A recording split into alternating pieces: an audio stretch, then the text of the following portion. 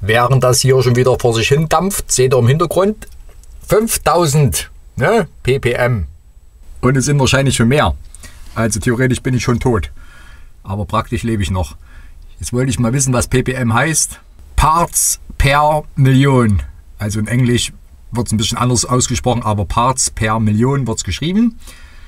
Ja, das ist auf die, was ich gesagt habe, auf die 0,04 Prozent abgeleitet. Das ist dann sozusagen 400 auf eine Million. Ja, das sind 0,04 Prozent. Habe ich gerade hier gegoogelt. Könnt ihr alles nachlesen. Und da wollte ich jetzt wissen, was der Grenzwert für Innenräume ist. Und der ist 1500. Wie gesagt, ich bin eigentlich schon tot. Ja, und ich befürchte, mein Messgerät misst nur bis 5000. Ja, weil das ist nämlich so, die 5000 äh, ist die Grenze, die so maximal in Innenräumen gemessen wurde.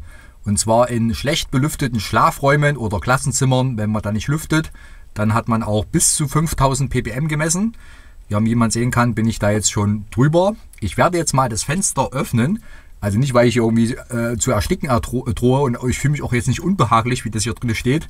Die Studie hat nämlich bewiesen, dass man ab 2000 ppm, dass man sich unbehaglich fühlt. Aber nee, mir geht es genauso gut wie vorher auch.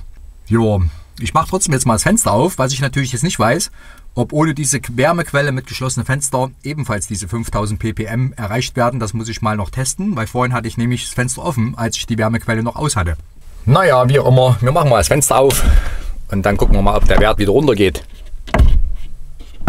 Natürlich wird es dann wieder kälter. Wir merken uns jetzt mal die Temperatur. 12 Grad Celsius, da drüben zeigt es 13 Grad. Aber sieht das nicht toll aus. Also ich kann euch so einen Raclette-Grill wärmstens empfehlen. Nicht nur wegen der Optik, weil das schön aussieht, sondern weil es wirklich gut schmeckt. Zusammengeklappt nimmt es kaum Platz weg, wiegt nichts. Ja, ein paar Kerzen, ja, nicht der Rede wert. Also es war ein toller Kauf. Ach, die Stella kann sich auch nicht entscheiden. Rein und raus und rein und raus. Ja, sieht doch richtig gut aus. Ne? Nicht nur der Käse, sondern auch der Wert. Bin ich wieder bei 2200 angekommen und das nur, weil das Fenster angekippt ist. Aber es kommt auch, man merkt es ordentlich Luft hier rein.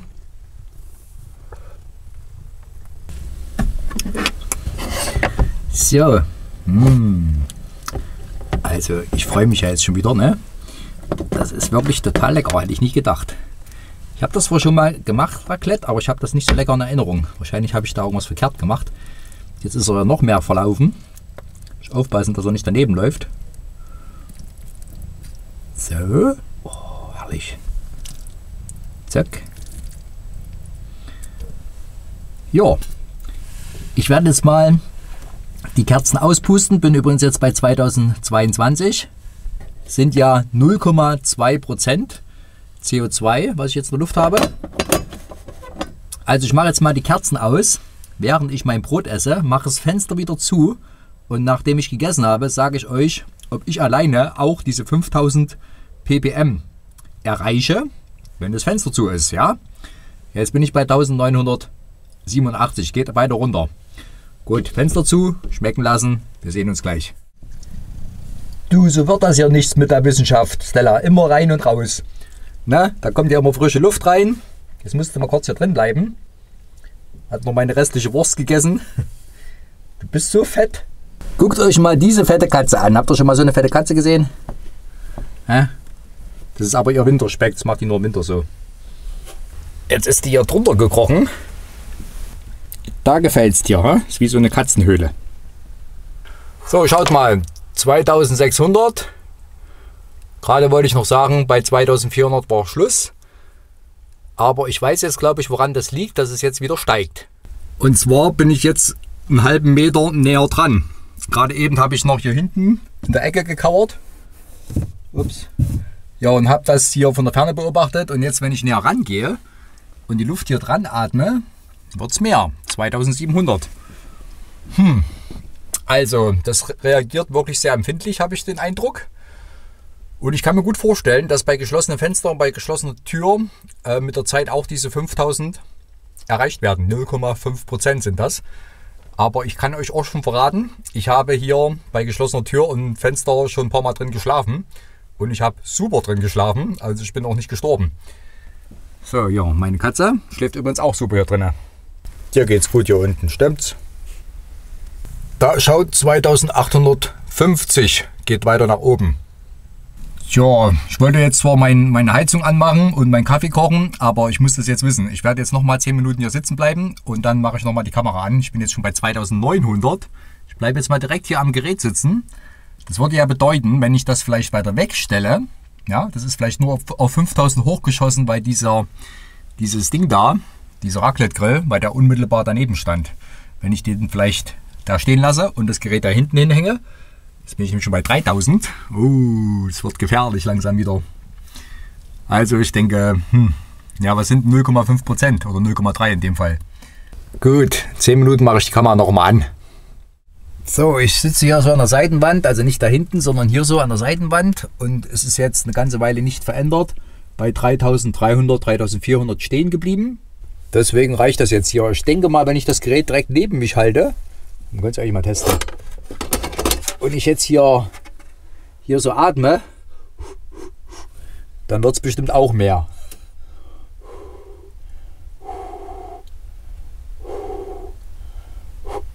Ich brauche, glaube ich, gar nicht machen. Es reicht, wenn ich normal atme.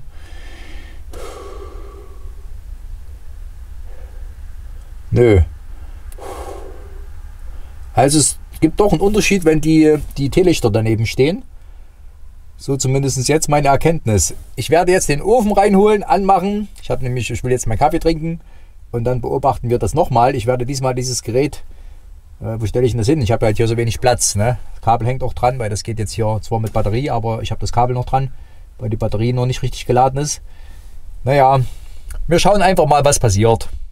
So, diesmal nehme ich die Bienenwachskerzen. Das Dumme ist, die stehen jetzt wirklich weit auseinander. Und wenn ich meine Tasse hier oben drauf stelle, kann ich die ja nicht mittig hinstellen, dann muss ich die irgendwie hier drüben hinstellen. Hm. Also besser wäre, wenn ich fünf hätte. Ich habe jetzt plus vier mitgebracht. Naja, schauen wir mal, was passiert. Ich hoffe, das Ding explodiert nicht. Kann man ja vorne irgendwie einstellen. Ah, schon besser.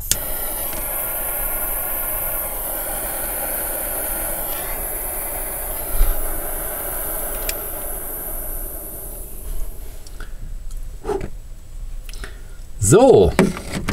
Also wenn man hier so drüber ist, oh, das ist richtig heiß. Also man kann die Hände nicht hier, au, au, au, au. Ja, das ist schon krass. Zack, das, das schließt mit Magnet. Ne? Das kann sozusagen nicht so einfach aufgehen und es kann auch nichts rausfallen. Das ist ja das Schöne. Schaut mal, die sind jetzt hier drinnen. Und ich denke mal, das geht eh nicht schnell wie bei dem Raclette-Ofen. Das hier oben das... Nö. Oh, da ist ja noch so ein Blech drin. Ich denke mal, das muss ja erstmal richtig heiß werden. Und dann wird das hier weiter verteilt. Und das ist ja, wie gesagt, ein Fußwärmer. Also das stand in der Beschreibung, bei dem stand hin und wieder, ein Teelicht reicht, um die Füße zu wärmen. Jo, ich habe jetzt hier vier drin. Ich warte jetzt einfach mal, bis es heiß ist, werde meinen Kaffee hier draufstellen und mache die Kamera wieder an, sobald mein Kaffee kocht oder mein Wasser kocht. Der Wert ist 3360, wird bestimmt jetzt wieder schnell steigen. Ich versuche mal hier, na gut, das sind jetzt hier 20 cm, mehr ist es nicht. Ich wollte gerade sagen, Abstand herzustellen, aber ich habe halt wie gesagt hier kaum Platz oder das ist der einzige Tisch hier drin. Ist ja klar. Wartet mal, das qualmt jetzt gerade hier. Ist wahrscheinlich eine ausgegangen. Das ist natürlich unseriös. Ach. Zwei sind ausgegangen. Wieso sind die ausgegangen?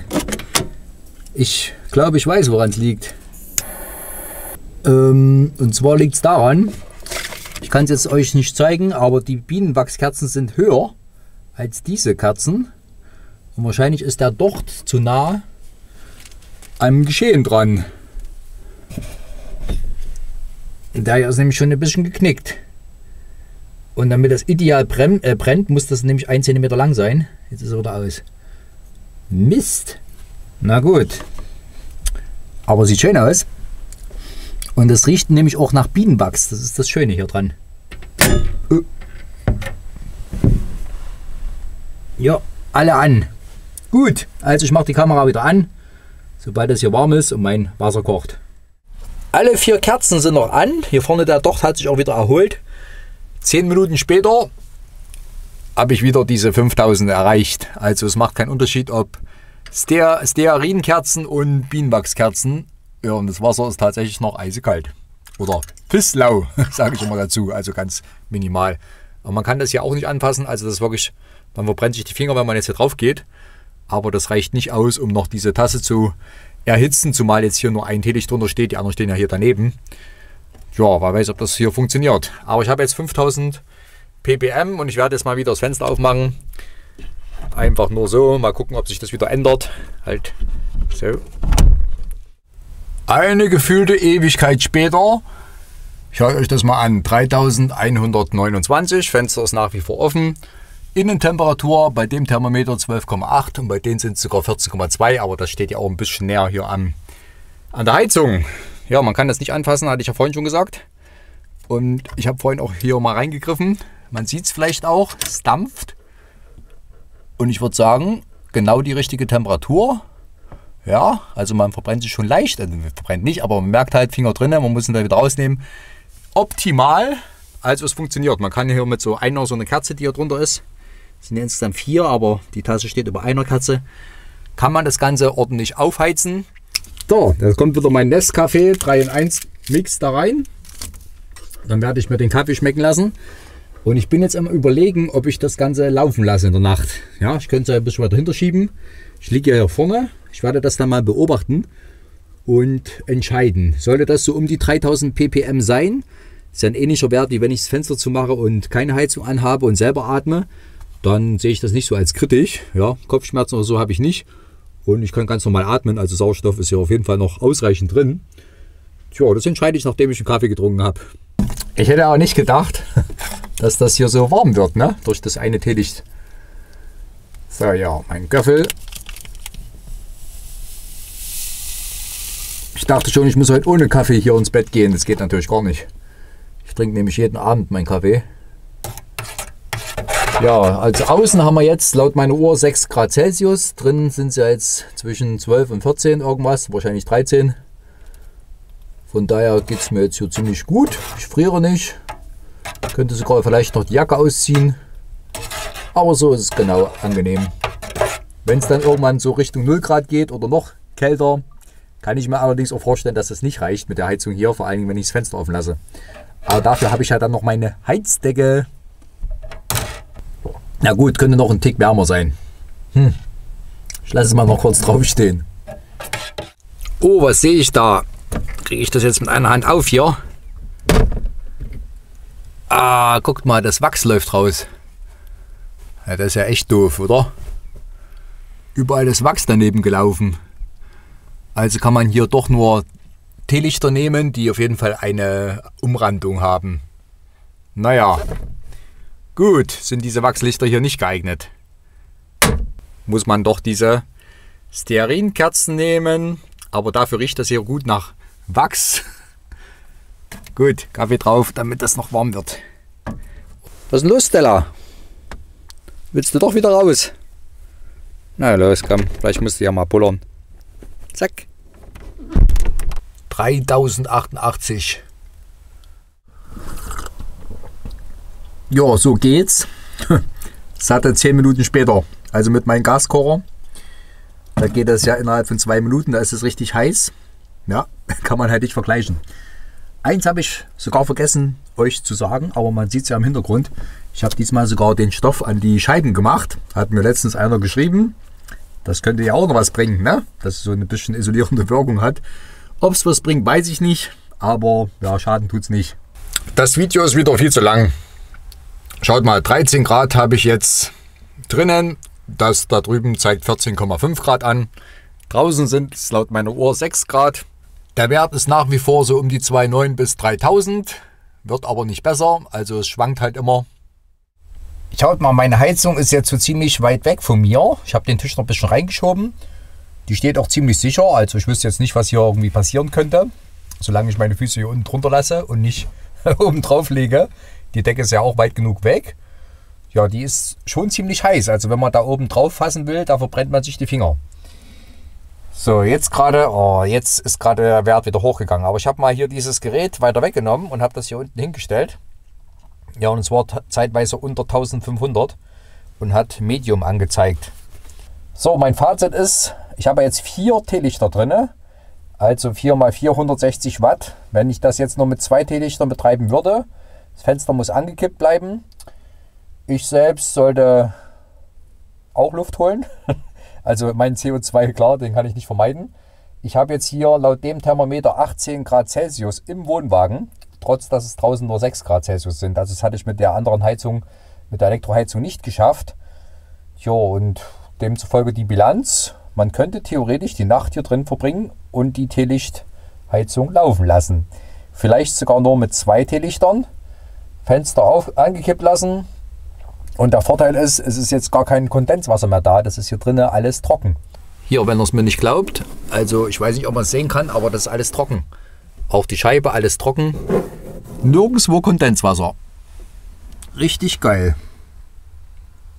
Und es riecht total gut nach diesem Bienenwachs. Und sieht dazu noch schön aus, wenn man das Licht ausmacht. Und wenn man hier so ist mit der Hand, das ist richtig warm, ja. Also hier in der Höhe, selbst hier merkt man noch die Hitze. Ja, hier nicht mehr so dolle, aber es ist auf jeden Fall noch spürbar. Richtig toll. An den Seiten kann man auf jeden Fall die Hand hinhalten. Kommt auch ein bisschen Wärme raus, aber die hauptsächliche Wärme ist hier direkt drüber. Das ist richtig geil. Also diese Heizung ist ihr Geld wert, auch wenn sie nicht gerade billig ist. Aber ich habe keine Alternative dazu gefunden. Es gibt nur die. Ja, wo man hinhält, richtig warm. Also anfassen kann man nicht, da verbrennt man sich definitiv die Hände. Gut, habe mein Kissen vergessen. Das werde ich jetzt noch holen. Jetzt bin ich schon bei 1600. Schaut.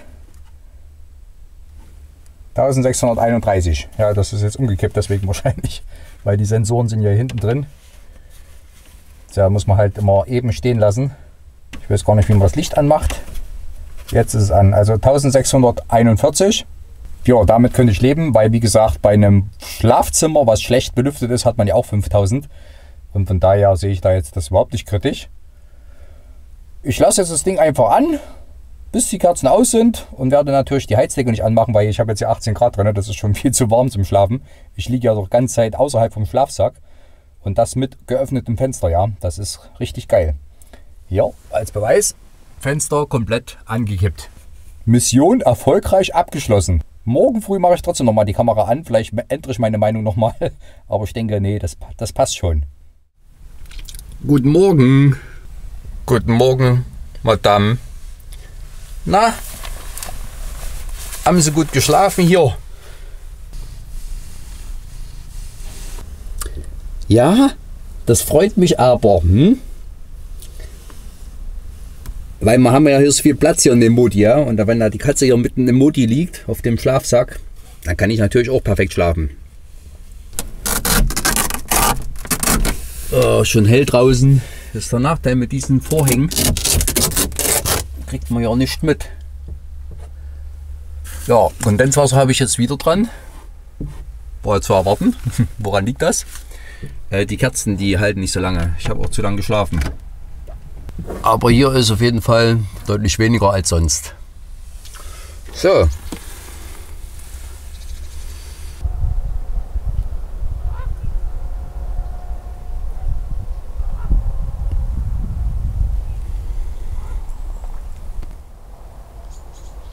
Ah, ich sehe wieder aus. Naja gut, ich habe ja gesagt, ich mache nochmal die Kamera an und teile euch ein Fazit mit. Also diese Heizung hat mich wirklich positiv überrascht. Nicht nur von der Wärmequelle und dass ich dann meinen Kaffee sogar noch warm gekriegt habe, sondern auch äh, dieses Raclette-Ding, ja. Also das ist richtig geil. Also das, das werde ich heute Abend noch mal essen. Das war lecker. Ja, und ähm, die Temperatur außen, ihr habt es ja gesehen, sind 6 Grad, ja, heute früh. Ja, gestern waren es ja auch 6 Grad und ich habe ja 18 Grad reingekriegt. Trotz dass das Fenster offen war und das spricht ja für sich, ja. Die Frage ist halt noch, wie es bei 0 Grad oder noch kälter ist, aber da habe ich eigentlich nicht vor, draußen zu schlafen. Der positive Nebeneffekt mit dem Kondenswasser, dass das nicht so da war, ist natürlich auch cool. Wenn man das früh auch nicht haben will, müsste man halt testen, wenn man nachts wach wird, dass man mal die Kerzen tauscht. Ja, die äh, halten nicht so lange, wie ich geschlafen habe. Ich weiß gar nicht, sechs Stunden äh, halten die. Jetzt ist es um 8. Oh, um 8. Ja, ich bin glaube ich gestern um 11 ins Bett. Also neun Stunden halten sie nicht. Gut, na dann werde ich jetzt mal das Video beenden an der Stelle. Solltet ihr irgendwelche Fragen haben, schreibt es doch in die Kommentare. Ansonsten danke fürs Zuschauen. Ciao, bis zum nächsten Mal, euer Jörg.